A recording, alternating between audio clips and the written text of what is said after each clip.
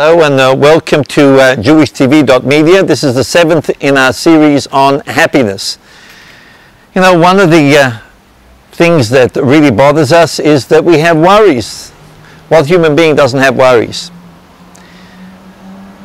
How are we supposed to be able to overcome our worries and uh, be happy? Of course, if we have bitachon, I explained last time, it goes a long way. But sometimes, even with bitachon, we can't get the thought out of our mind. And let me just say over here that the first thing is do whatever you can to get negative thoughts out of your mind. And the way you get negative things out of your mind is not by forcing them out of your mind, but by rather focusing on something else. If you're a spiritual person, the thing you should focus on is get into learning Torah. Study a little bit of Torah. Put your mind and heart into it. You won't have time to worry you're not that spiritual, you don't, uh, or Torah doesn't do it for you all, to, all that much, then focus on a hobby.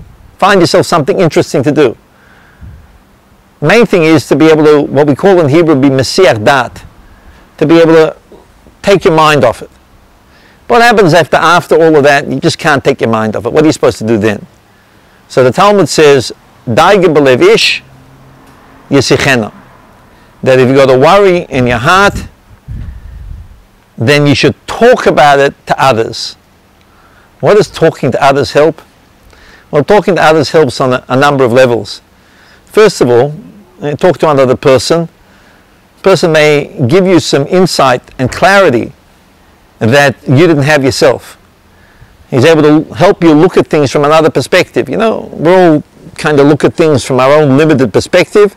Speak to another person, there's another guy there he helps to be able to broaden your horizon and look at it from a different kind of way. You know, Chassidim used to say that when two Jews sit together, that it's uh, two good inclinations against uh, one bad inclination. In other words, the two goods in each of them come together to be able to challenge the bad. So he may have insight for you that you haven't found in yourself. Another advantage of talking to other people is just by merely articulating the issue, you can find clarity yourself. Sometimes the reason why you don't have that clarity is just you're going over the thing again and again and again in your mind. When you have to explain it to someone else, you have to actually articulate, you have to express it clearly and properly.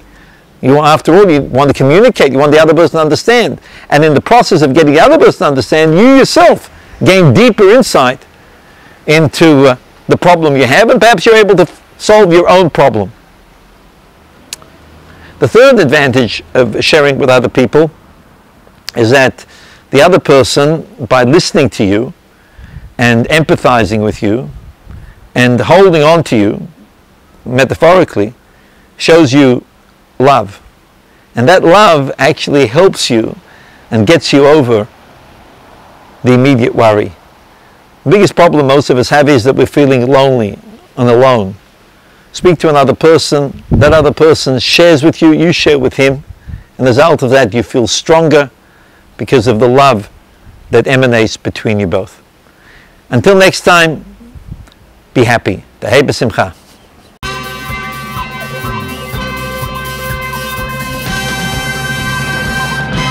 JewishTV.media